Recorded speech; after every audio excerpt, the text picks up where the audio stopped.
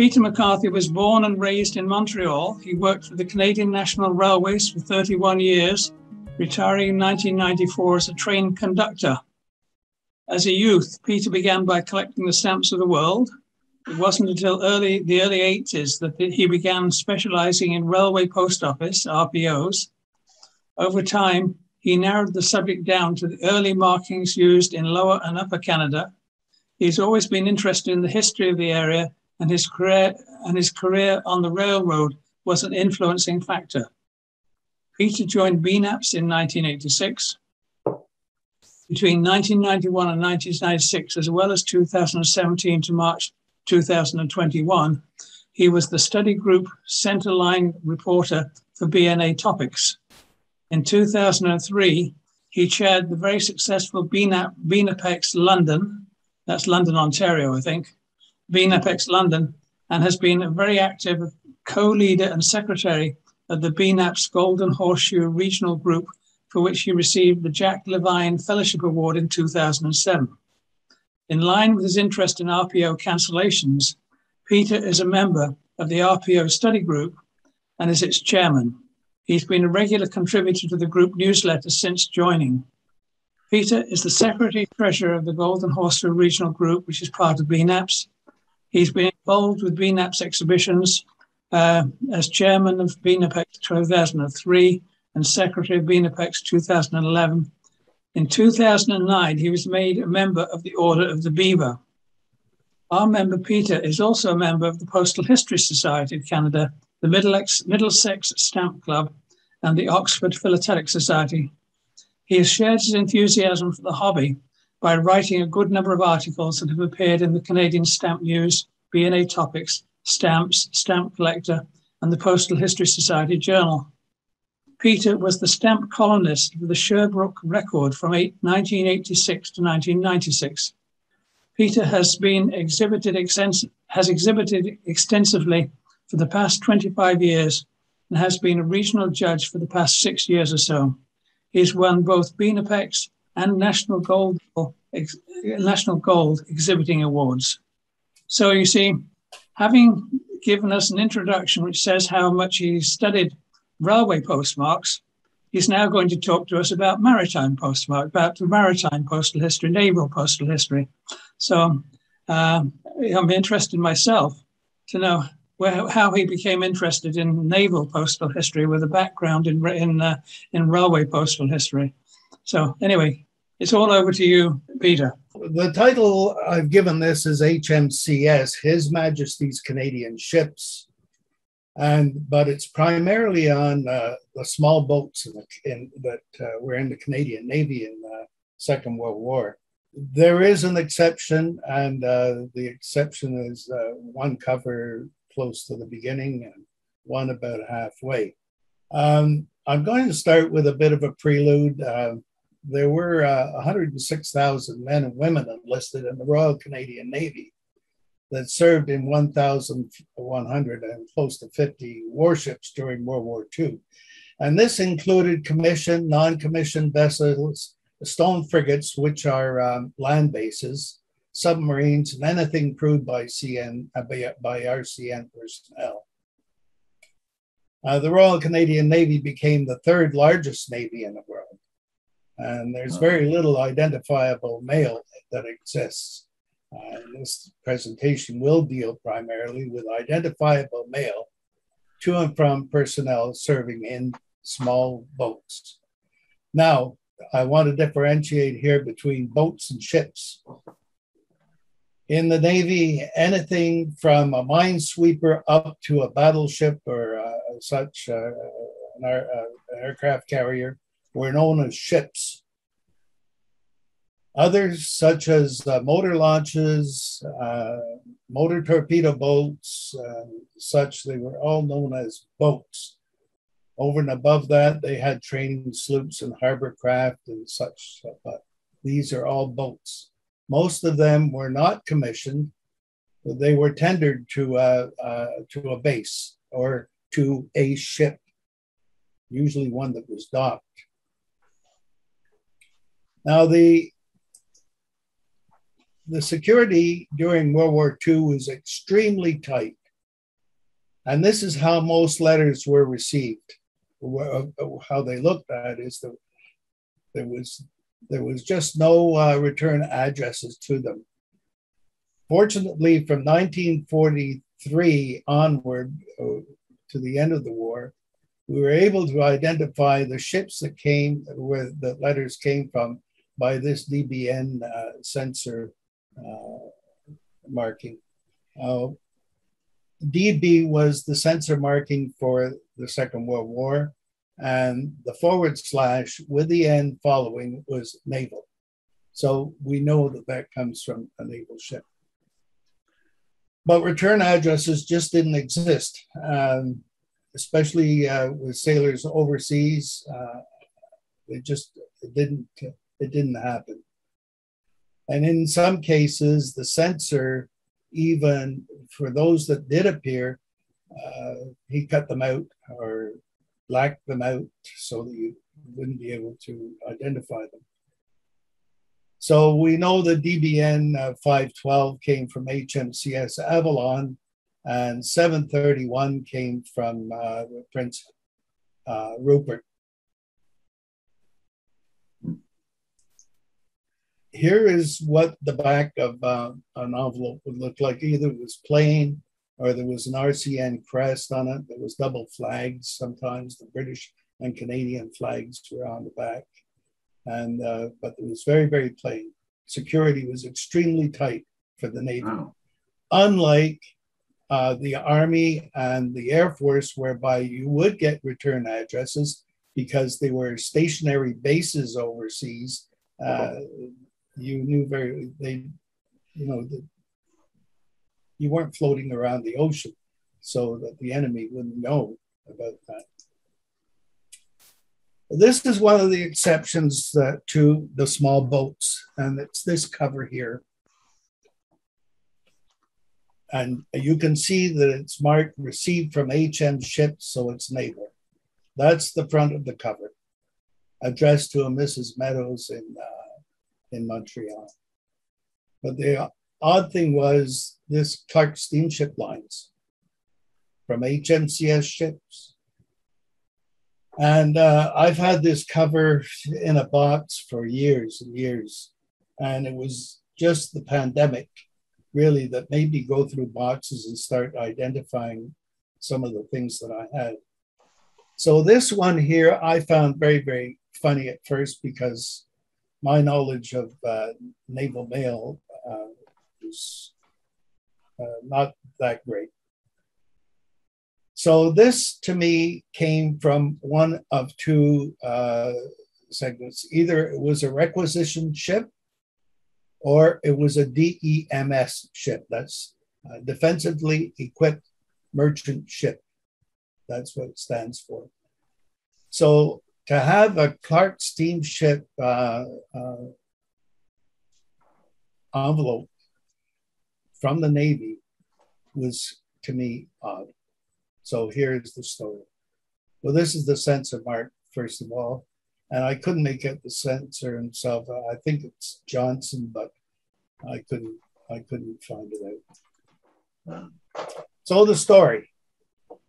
The cover being from His Majesty's ship uh, using a private shipping company stationery uh, meant one of two things. Either it was a letter by DEMS or it was a requisition ship. So I started looking things up.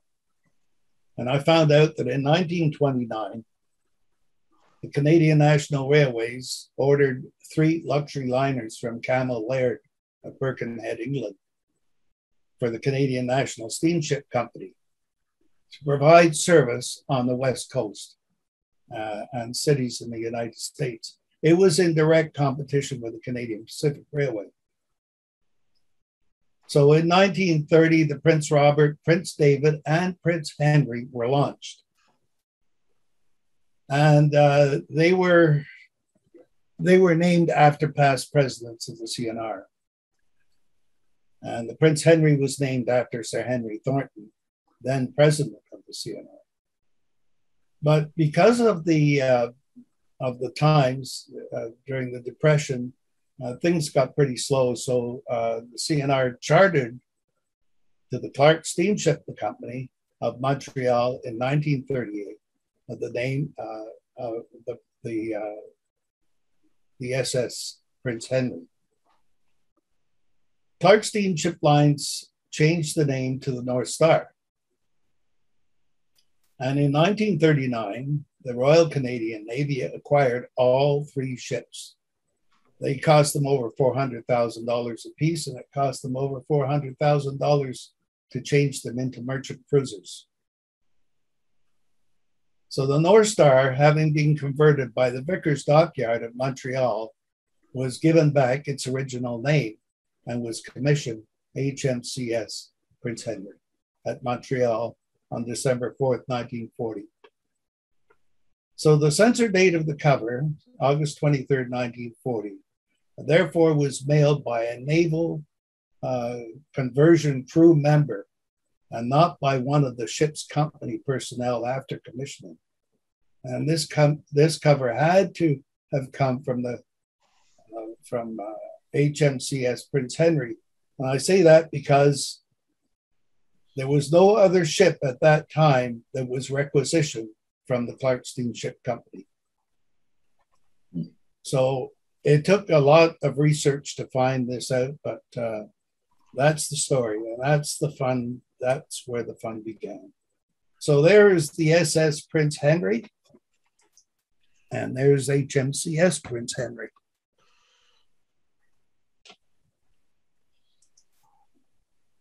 Uh, we're going to go into motor torpedo boats.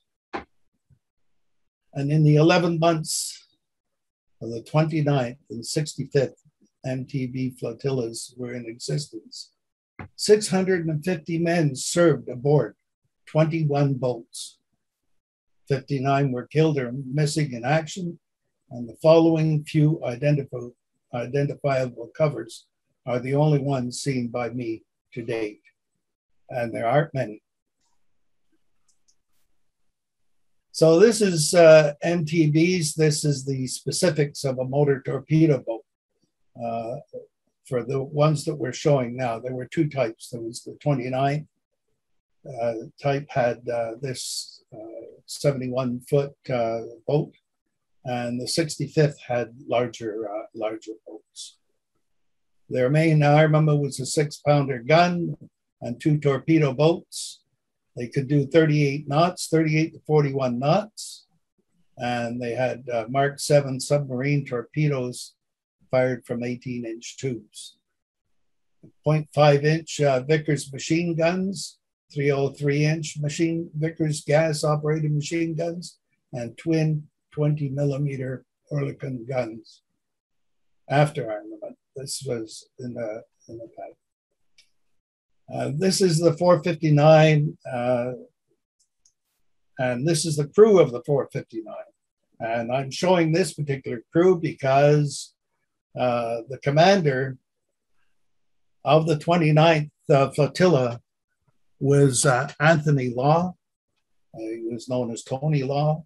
He was lieutenant commander in the Royal Canadian Navy, and he was also the commander of the 459 plus the 29th flotilla. Uh, two men, this is the original crew. Uh, it's not the crew that finished. Uh, believe me, there was a lot of changes that were made during time. And uh, but uh, this person here and this person here, they were killed uh, in a battle on the, I guess it was the 9th of July, 1944. The MTB uh, crew only came only was uh, came into effect in uh, uh March of 1944, and they lasted until February of 1945. Uh, and you'll get the answer to that The main uh, copies that I have is the Lovelock file. This is from uh, from a signalman, a Lovelock, on the MTB 459. um, This is a card that was sent to the uh, Canadian Overseas Postal Department, in London, and letter cards were used to save uh, on weight. The date of April 5th indicates the flotilla was still stationed at HMS Beehive. That's where they did their workups and their training for the month. And uh, I've uh, I, wrote down what I translated the uh, transcript, uh, the uh, card, and it says your welcome birthday card arrived today, and it took uh, two months to get to him, and um, and he tells about uh, about uh, his money being saved by his aunt in England. And then he talks about uh, they get canteen uh, every night, but hardly any shore leave. It sort of drives uh, a guy nuts and is beginning to show a strain on the crew. And we have a damn good crew aboard here, much better than when I left the old 89. Now, I want you to pay, pay particular attention to that, the old 89, because uh, what happened was, uh, and uh, uh, it'll show you in the next one, is that this crew were together in a British uh, motor torpedo boat flotilla with the British motor torpedo boat, and it was shot out from them, from under them and they ended up in hospital. But a German E boat had picked them up and dumped them back on British soil. So I, I, that was, uh, I guess, the chivalry of the Second World War and, uh, and some of the Navy. They weren't interested in killing the men, just getting rid of the boats. So they they put them back on, uh, and they spent time in the hospital. So uh, he's just writing about this 89. And I figured at the time that uh, this was the British motor torpedo boat. So uh, while serving on a British, uh, this is uh, what is uh, the story about the fact that it was sunk. This is uh, Robert Lovelock. On he was a signalman, and he's by his flag locker. And this is what the rear of a motor torpedo boat looked like the, uh, with the Oerlikons. The mail was sent here, you can see, to uh, HMCS Niobe. It was crossed out, and the B for, for MTB 459, that's Beehive. HMCS Niobe served as the, uh, as the land based uh, parent ship for Canadian naval personnel and DB 107 was HMCS Stadacona, Halifax, Nova Scotia. Now, I'll mention that now that, uh, like I said, I wasn't going to get into uh, censor numbers too much because there's a lot more to it than, uh, than what I can tell you right now. But all mail leaving Canada for overseas had to go through the censors also and it did so prior to leaving Canada. It was either gone through it at HMCS Avalon in Newfoundland or Stadacona in Halifax. So this one, this particular letter was uh, was uh, gone through the censor at uh, hmm. Stadacona. now, Ken wanted to know really what got my me interested in uh, in the Navy, and this cover right here with this big MTB 459 in green got me hooked. One day I opened up eBay and here this thing is staring me right in the in the face, and it was from uh, uh, John Frith. He was the one that was selling it and it was at a ridiculously low price. And I said, "Oh, geez, I gotta have that." And I bid a ridiculously high price on it, and received it for what John was selling it for, which was eight dollars and fifty cents. Wow! So uh, and uh, that started me going. I looked it up, and there's a, there's a couple of wonderful sites, naval sites. One is the the uh, Naval Museum of Manitoba, of all places, and the other one is a site that's called For Posterity's Sake. And this is where I've gotten an awful lot of information from. In any case, this particular cover was sent to R.C. Lovelock uh, at HMCS Niobe. It was crossed out, of course, and sent to MTB 459. And you know, I've got to say something here for the Postal Service in the Second World War. Absolutely fantastic because these sailors were here, there, and everywhere. They were from one ship to the other, and yet they were kept such great track of and mail was delivered to them right uh, uh, without any any problems at all. They got their mail. I mean, these guys were all over the place, and uh, it, it was really fabulous because they they handle millions. When I say millions of of uh, pieces of mail, that's packages and letters per year during the war because, well, and you know, the, the sailors were always very happy to get a piece of mail because it's a lonely, lonely thing to be out, has to be in the middle of the ocean. You never know what's coming up next. That gray, dark days that uh, they went through. Uh, and so mail did go through. So Working up at HMS Bee and Holyhead, Anglesey became operated in operational in May, and the backstamp seen uh, below was previously unknown. DBN 26, that's unknown. We don't know what that marking is as yet. This is a lot of the investigations and the research that has to be done. And this again is another cover to uh, to uh, Lovelock. And the reason here he is in HMC uh, MTB 486. I told you about the um, um, the two that were killed. Well, in another battle, they had the boat completely shot out from under them, and uh, they towed it. They managed to tow it back, but uh, Commander uh, Law he just uh, took the whole crew and he went into the one of the three spare boats that they had, which was MTB 486. So from there and on, uh, this crew they stayed together in the 486.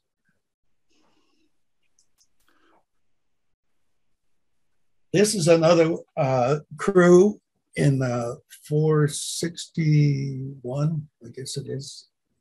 In addition to being uh, the telegrapher, um, F.W. Story, uh, soon uh, seen at the far right of the, of the crew. Um, he could very well have been the uh, the boat photographer because this this particular cover is mailed to to uh, the photography, the naval base headquarters, and the photography department. So I, I think I think he may have been, although I, I can't prove it, but I'm just going by the fact that he may have been. MTB 464 was um, was one of the boats to have uh, survived the disaster at Ostend, and we'll come to that in a second.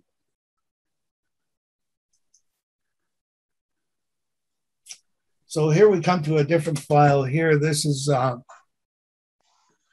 Lieutenant J.R. Cunningham. He joined the 29th Flotilla in uh, at least early April of 1944 during the workup. And uh, out of HMS Bee, and uh, the Canadian Field Mail Office crossed out HMCS Kincardine. He had served on the Kincardine, and and and HMCS uh, Chambly also. which were both uh, corvettes. The other thing I wanted to mention here was uh, when I when that the uh, cover that I showed you, MTB 459 in green, that I got through John Frith. I showed that at the uh, at the uh, uh, Golden Horseshoe Regional Group, and who comes to me with the with uh, some information was um, Colin Pomfret. And some of you may remember Colin. He was quite a collector of uh, military mail, and he says, "I've got some of those." I said, "You do?" He says, "Yeah." He says to that to that person, uh, Lovelock. So I said, "Well, would you sell them to me?" He says, "No." So I said, Well, would you let me have them to write my story on? He says, Yes, sure. He said, I'll them to you, which he did. And after the story came out, he ended up selling them to me. Of course, with the story out, the value went up a little bit on too. You know, so uh, I I got those, and then um, uh, uh, Lingard, he saw the story and uh, he came up with a cover which is here. He says, "I'll let you have that." He says, for a price, of course. And um, I eventually bought these covers here from uh, from uh, Doug. So uh, they're all like Cunningham to either Lieutenant Cunningham or to his mother. And this one here posted on July 24th, censored by Censor 76. And it was opened by a civil censor and taped and then passed by the RCA, RAF base censor on July 25th. They didn't take any chances on this guy. Let me tell you, that's uh, security was that tight. And on that night, while on patrol north of uh, Le Havre, the remaining boats, including the 465, became involved in a heavy battle with uh, E and R boats and uh, and trawlers, in which one uh, was sunk. Mm. This is uh, to uh, Lieutenant uh, Cunningham, and uh, the cover appears to have been sent from the Middle East in accordance with this double uh, censor uh, ring censor marking that reads Deputy Chief Field Censor. the cover may arrived around the time of the disaster at Ostend judging by the fact that the penciled MTB 461 has a question mark on it.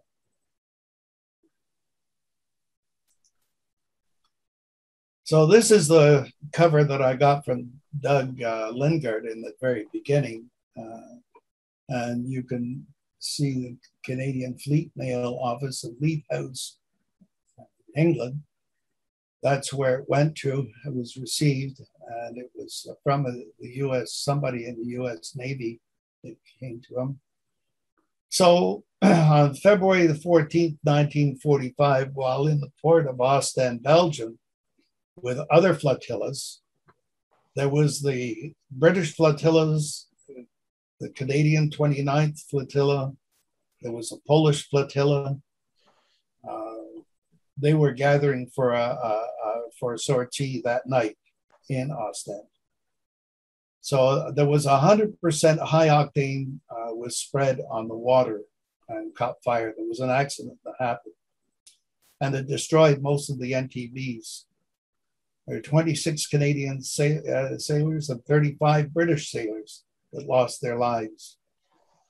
This cover addressed the Lieutenant Cunningham, who had replaced Lieutenant Burke as captain of MTB 461 couldn't be delivered because the 461 had been destroyed.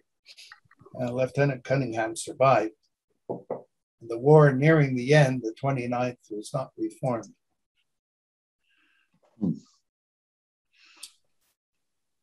And this is one of the disasters of Ostend. Uh, research indicates that Mr. Kenny Sr. was the father of able seaman J. Kenny of the 29th Flotilla, who was killed at Ostend February 14, 1945. Uh, A.B. Kenny was not an original member of the eight boats that made up the flotilla. Uh, DBN 545 again has to be researched because it's unknown. We don't know what ship it is. In Ostend, there stands a memorial to the uh, to the Canadian sailors that lost their lives, raging of the treacherous seas. I'm at a meeting right now. Can I call you back in about an hour or so? Absolutely, yes, absolutely. This was a poem written by uh, Signal Andrew uh, Cleland of uh, MTB 461. He survived the disaster also. And that's MTB's. So now we go on to uh, the other thing I wanted to mention too is that of the two of the two Canadian flotillas, and these were 100% Canadian flotillas, uh, MTB flotillas, that is the only mail, the uh, identifiable mail that I have seen so far. Nothing from the 65th at all. Not a thing have I seen. And so I've been uh, sort of looking out for these things now for about 12, 14 years, I guess. So then I, of course, uh, you know, you go from one to the other and uh, you start uh, extending yourself. And the Canadian motor launch was originally designed by the Fairmile, Mail, uh, Fairmile Company of England. The Department of National Defense contracted to have 80 of them built by various Canadian boat builders on the Great Lakes and uh, the east and west coasts. These boats were not commissioned, but they were listed as tenders to uh, depot ship HMCS Sambro. They were 112 feet long, 17 uh, feet 10 inches on the beam, and a draft of 4 foot 10 inches.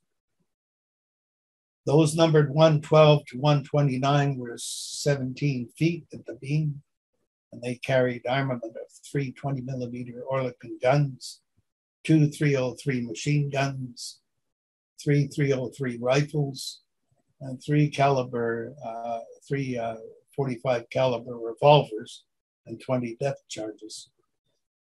Uh, they carried the revolvers because there were three officers on board of each ship. That's what, uh, and the officers had the revolvers.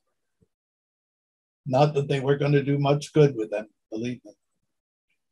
Uh, the fair, they were the boats were officially known as Fairmile Type D, I guess, motor launches, but the crews looked upon them as uh, Q boats because their numbers started with a Q. Little ships, little fighting ships, MLs, and holy rollers because they were very unstable uh, in rough water. The complement for each boat was three officers and 14 ratings. Their function was to patrol the St. Lawrence River, the Gulf of St. Lawrence, and the Straits of Belle Isle. They acted as uh, submarine chasers and uh, convoy escorts between the mainland and Newfoundland and through the St. Lawrence waterway, relieving the other ships for other duties, the bigger ships for other duties. And here is uh, here is HMCS 89, 089. And that's why I wanted you to pay attention to that particular card that I read from, uh, from uh, Signalman Lovelock, because although there is no date to this cover, uh, it was probably sent sometime in early 1943 the Q089 is referred to in the letter sent by Signalman Lovelock from MTB 459, April 5th, 1944. DBN 27 is HMCS Shelburne, located in Sandy Point, Nova Scotia. It was a repair facility, barracks, and residence. It was also a fleet post office. The cover is courtesy of Mike Street uh, photocopy. And I'll also add here too that Mike Street had a great deal of influence in my my dealing with with the military, uh, with the naval stuff because, and he lent me some some some stuff by Morris Hampson, some books by written by Morris Hampson, uh, who had served in the Second World War, and uh, he's done some fabulous work. But uh, I haven't um, I haven't used his work in any of this so far. So this is where uh, he he served at first was uh, on on uh, on the on the MLs and the Q089. And there's a picture of the Q089. Fairmile Motor Launch was built by Gravett um, Boat Limited, Gravenhurst, Ontario, and was delivered to the RCN October 15, 1944. 42, and uh, under the command of Lieutenant Commander A.H. Beardmore to January 1944. The boat was part of the 76th Flotilla, Halifax LD Force, and tendered to HMCS Sambro. Now, this one here, uh, this is the second exception to small boats. And at first, when I got this one, because of the fact that it has the Gaspé uh, cancel on there, I figured that it was part of uh, the 71st or 79th flotilla that was stationed in Gaspé. Uh, as uh, they they uh, they protected the, the St. Lawrence Seaway and to a certain extent part of the St. Lawrence River and uh, they were used as escorts. But it turned out that uh, such was not the case. That it turned out that this was uh, uh, uh this was censored by BKS. Now, when I looked up BKS again, I went to um, the um, I went to to the source to uh, for posterity's sake, where they have a listing of all the officers that served in the Second World War in Canadian ships. And um, I wish they had this, this the seaman, the ratings also, but they don't. So usually the censoring was done by the junior officer of a ship. And it's only recently that I thought to look up BKS. So the only one that I could find was a BK Smith. It was the only ones with the initial B and K. Um, so, and he was on HMCS Blairmore, which was a Bangor class minesweeper. Now, this Bangor class minesweeper was uh, was built in Port Arthur and after, when it was completed, it wasn't commissioned right away. And it went and uh, did its work up, up through the St. Lawrence River, and it came as far as Gaspé. And of course, the, this is uh, a letter that was mailed from the from uh, the Blairmore in Gaspé. It went back to Port Arthur to be commissioned. And uh, that was in November when it got back to uh, Halifax uh, and went back, it went into, uh, into action. But these Bangor class minesweepers, half of them were not equipped with minesweeping uh, uh, apparatus because they were used as escorts. They weren't, there was no, there was no mine fields laid here in Canada. And they were more the Western uh, approach, uh, the Western escort force.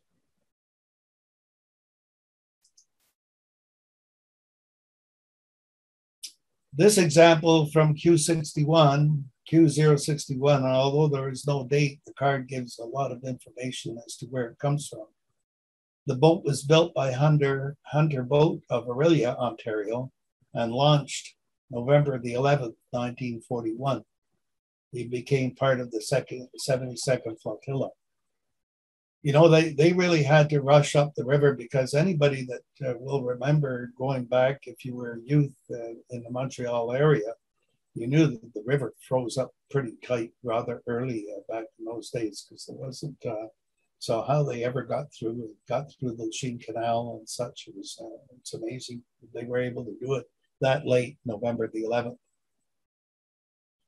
The Q69 was stationed in uh, Sydney, Nova Scotia, and it had all those commanders in it. So you can see when they say that 650, 700 men served on small boats. There's a picture of the Q061.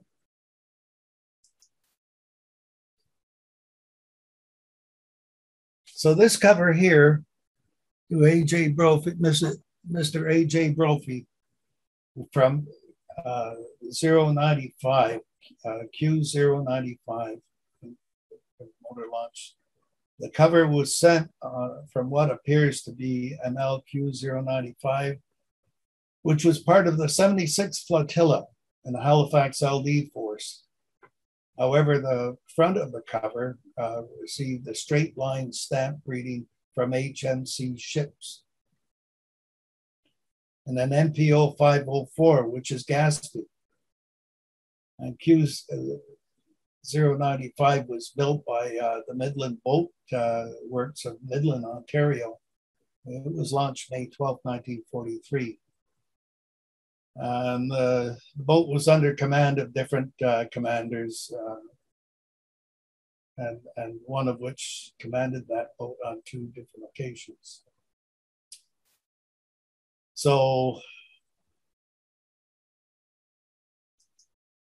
there's the Q095.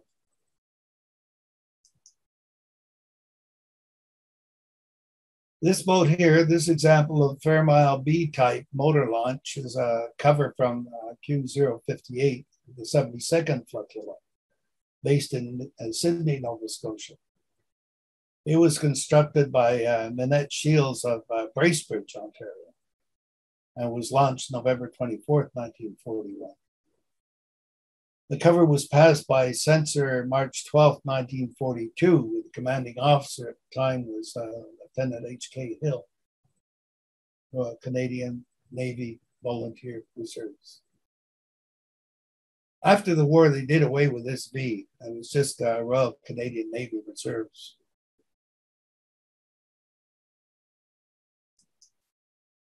And there's the Q058.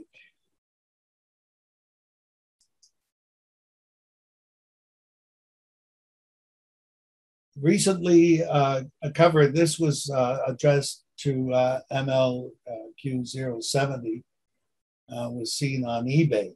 Uh, the boat was built by Star Shipyards Limited, Mercers of, of New Westminster, BC. It was launched March 14, 1942, and joined the 75th Flotilla of the Esquimalt Force on the West Coast. It was mailed from, uh, from Naval Post Office 1117, which is HMCS Burrard.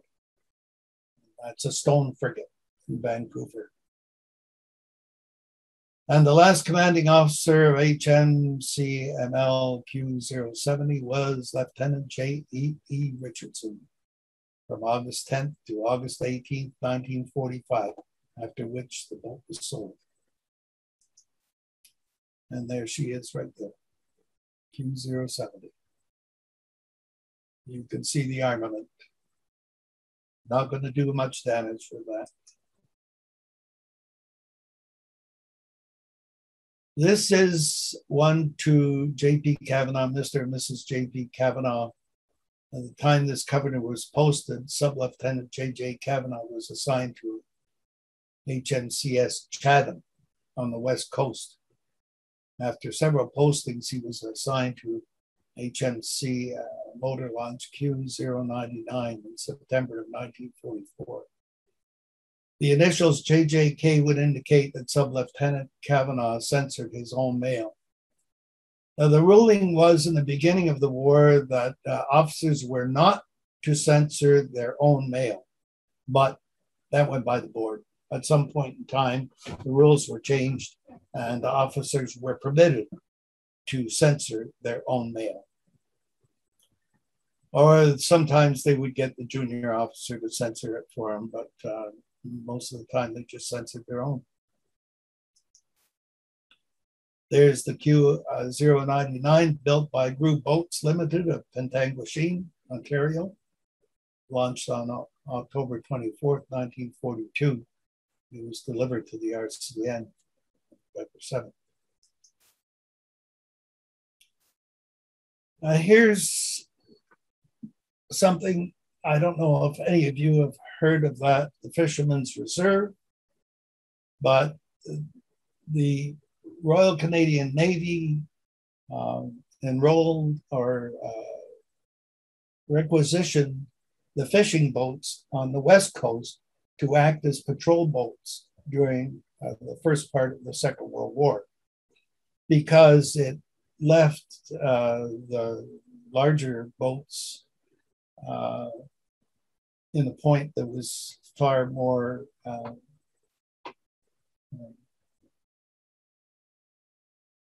liable to be uh, to be invaded, which was the East Coast. And on on the eve of the war, though, the Skidgate was one of 13 vessels that made up the Royal Canadian Navy. There were six destroyers, four minesweepers, a trading schooner, schooner, a trawler, and HMCS Skidgate. Skidgate was a, a, fishing vessel, and it was used as a training ship the censor was more than likely R. Pedersen, mate on the BC Lady. Now you notice that this is from uh, D. Roberts' mate, RCNR. These fishing captains, they're the ones that commanded their own fishing boats as a rule, and they were given the, the titles of either skipper, coxswain, or mate which was somewhat of an insult to them, merely because they knew that section of water better than anybody else. And they did have RCNVR personnel on board, uh, officers, but the ratings were all RCNVR. But these guys were given, uh, they were given an officer's cap, but a petty officer's uniform. And uh, so it was somewhat of an insult in a sense. But by 1942, most of them, there were 55 fishing uh, uh, boats that were used in the Fishermen's Reserve. They were all uh, they were all part of uh, Givenchy. They were all uh, tendered to, to HMCS Givenchy, which was um, um, a stone frigate, land base. And there she is.